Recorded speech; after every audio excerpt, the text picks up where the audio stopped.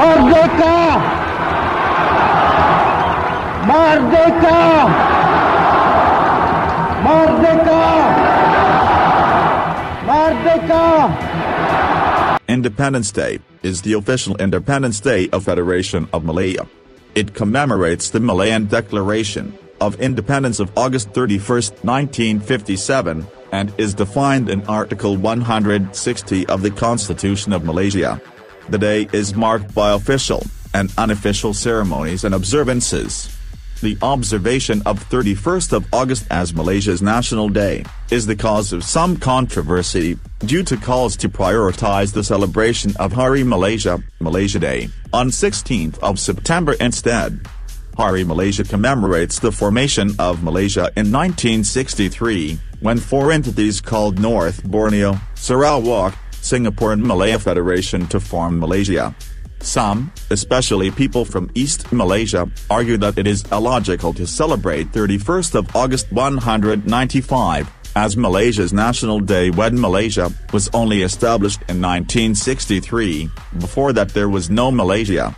Supporters of Hari Merdeka argue that, the federation, as defined in Article 160, of the Constitution of Malaysia is the Federation of Malaya, that was established in 1957.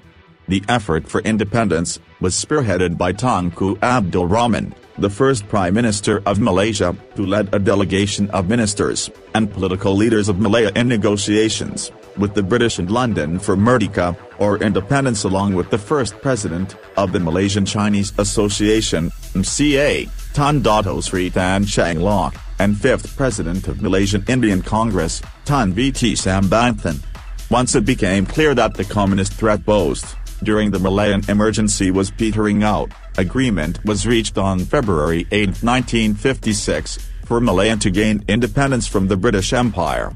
However, logistical and administrative reasons led to the official proclamation of independence in the next year, on August 31, 1957, at Stadium Merdeka, Independence Stadium, in Kuala Lumpur, which was purposely built for the celebrations of National Independence Day.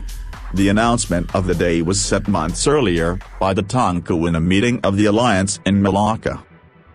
On the night of August 30, 1957, more than 20,000 people gathered at Merdeka Square, Padang Merdeka, in Kuala Lumpur, to witness the handover of power from the British. Prime Minister-designate Tunku Abdul Rahman arrived at 11.58 p.m., and joined members of the Alliance Party's youth divisions, in observing two minutes of darkness. On the stroke of midnight, the lights were switched back on, and the Union flag, in the square was lowered as the royal anthem, God Save the Queen played. The new flag of Malaya, was raised as the national anthem Negaraku was played. This was followed by seven chants of Merdeka by the crowd. Tunku Abdul Rahman later gave a speech hailing the ceremony, as the greatest moment in the life of the Malayan people. Before giving the address to the crowd, he was given a necklace by representatives of the Alliance Party Youth in honor of this great occasion in history, with the map of Malaya inscribed on it. The event ended at 1 in the morning. On the morning of August 31, 1957, the festivities moved to the newly completed Merdeka Stadium. More than 20,000 people witnessed the ceremony, which began at 9.30 a.m. Those in attendance included rulers of the Malay states, foreign dignitaries, members of the federal cabinet, and citizens. The Queen's representative, the Duke of Gloucester presented Tunku Abdul Rahman, with the instrument of independence. Tunku then proceeded to read the Proclamation of Independence, which culminated in the chanting of Merdeka. Seven times, with the crowd joining in. The ceremony continued with the raising of the national flag of Malaya accompanied by the national anthem being played by a military band and the 21-gun salute, followed by an azan call and a thanksgiving prayer in honor of this great occasion. The day followed with the solemn installation of the first, Yang Pertuan Agong, Tuanku Abdul Rahman of Negeri Sembilan, at Jalan Ampang, and the first installation banquet in his honor, in the evening followed by a beating retreat performance, and a fireworks display. Sports events and other events marked the birth of the new nation. The foreign guests of honor included members of royal families, the King and Queen of Thailand, the Crown Prince and Princess of Japan, the Duke and Duchess of Gloucester, representing the Queen, Prince William of Gloucester, the Prime Minister of South Africa, Johannes Gerardus Strijdom, the Prime Minister of India, Jawaharlal Nehru, the Prime Minister of Pakistan, Hussein Shahid Suhrawardy, the Prime Minister of Vietnam, Pham Van Dong, the Prime Minister of Ceylon, Solomon Bandaranaike, the Prime Minister of Burma, U Nu, the Prime Minister of Cambodia, Sim Var, the United States Secretary of State, John Foster Dulles, representing U.S. President Dwight D. Eisenhower, the Governor of Hong Kong, Sir Alexander Grantham, the Chief Minister of Singapore, Lim Yew Hock, Sir Gerald Templer, former British High Commissioner in Malaya, and Lady Templer. Lady Gurney, wife of former British High Commissioner in Malaya Sir Henry Gurney. Lady Gent, wife of former British High Commissioner in Malaya Sir Edward Gent. High Commissioners of other Commonwealth countries. High Commissioner of Canada to Malaya, Arthur Redpath Menzies. High Commissioner of Australia to Malaya, Tom Critchley. High Commissioner of New Zealand to Malaya, Foss Shanahan and Yu Hang. The Federation of Malaysia, comprising the states of the Federation of Malaya, North Borneo, Sarawak and Singapore, was officially declared on August 31, 1963, on the sixth anniversary of Malayan independence. However, it was postponed to September 16, 1963, mainly due to Indonesian and the Philippines' opposition to the formation of Malaysia.